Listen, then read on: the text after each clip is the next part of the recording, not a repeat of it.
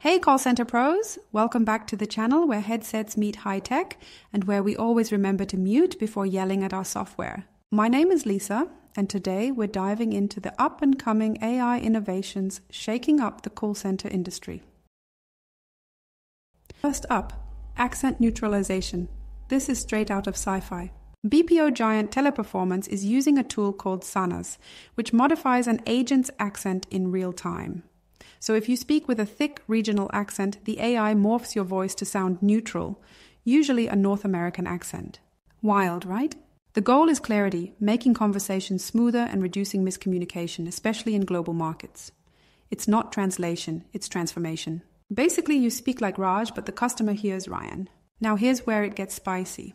Some agents say it's helpful, others feel like it erases identity. Imagine being trained to show empathy, but also being told your real voice might be a problem.